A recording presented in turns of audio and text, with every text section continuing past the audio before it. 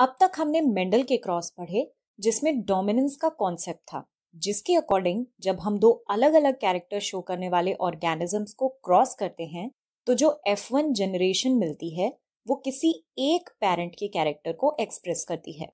और उस कैरेक्टर को हम कहते हैं कि ये डोमिनेंट है। और जो दूसरे पेरेंट का कैरेक्टर होता है, जो एक्सप्रेस नहीं हुआ होता है, उसको हम रिसेसिव कैरेक्टर कह देते हैं। उसके बाद हमने पढ़ा इनकम्प्लीट डोमिनेंस के बारे में, जो मेंडल के क्रॉस से डिविएशन शो करता है। इसमें जो एफ़ वन जनरेशन होती है, वो दोनों पेरेंट्स के बीच का कैरेक्टर शो करती है। ये दोनों टॉपिक्स हम पढ़ चुके हैं।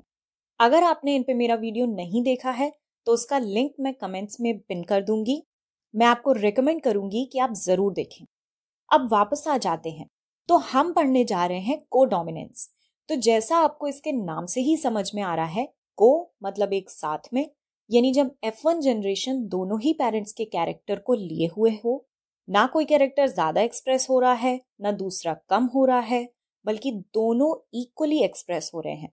उस कंडीशन को हम बोलेंगे कोडोमिनेंस इसका एग्ज़ाम्पल जो आज के वीडियो में हम डिस्कस करने वाले हैं, और जो आपके एनसीईआरटी में भी दिया हुआ है A B blood group of humans तो बहुत इंपॉर्टेंट है, बहुत ध्यान से सुनिएगा।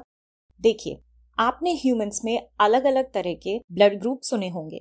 A B A B O तो ये कैसे डिटरमाइन होता है?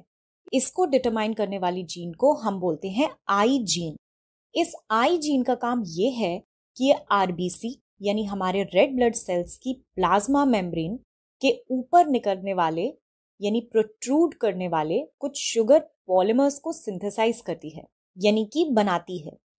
अब इस आई जीन के तीन अलग अलग तरह के एलील्स होते हैं। पहला आई ए इससे ए टाइप का शुगर सिंथेसाइज होता है आरबीसी के सरफेस पे।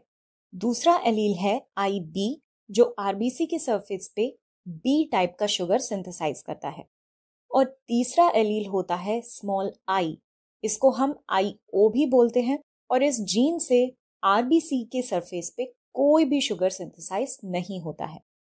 आई ए और आई बी डोमिनेंट एलील्स होते हैं और स्मॉल आई या आई ओ जीन रिसेसिव होता है। क्लियर अगर आपको इतना समझ आ गया है तो अब तो बहुत ही इजी है। देखिए, ये तो आपको पता है कि हम ह्यूमंस डिप्लॉयड ऑर्गेनिज्म होते हैं, जिसका मतलब ये है कि किसी भी ह्यूमन में इन तीन एलील्स में से कोई दो ही एलील्स प्रेजेंट हो सकती हैं। अब मान लीजिए कि किसी के पास एक आई ए जीन है और दूसरी स्मॉल आई है तो obviously I A gene RBC के सरफेस पे ए टाइप का शुगर फॉर्म करेगी और स्मॉल आई तो कोई शुगर फॉर्म ही नहीं करती। तो उस पर्सन का ब्लड ग्रुप हो जाएगा ए।